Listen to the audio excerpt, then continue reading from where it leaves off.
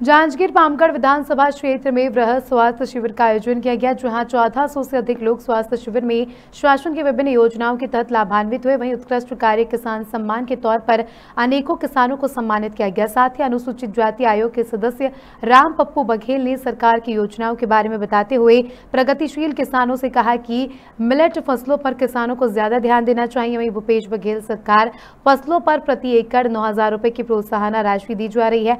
Millet फ़सलों को किसान अधिक से अधिक लगाए और ज़्यादा लाभ कमाए। इसमें राज्य शासन के कैबिनेट मंत्री राम कुमार पटेल के साथ कांग्रेस के समस्त क्षेत्रीय कार्यकर्ता, जनप्रतिनिधि उपस्थित रहे।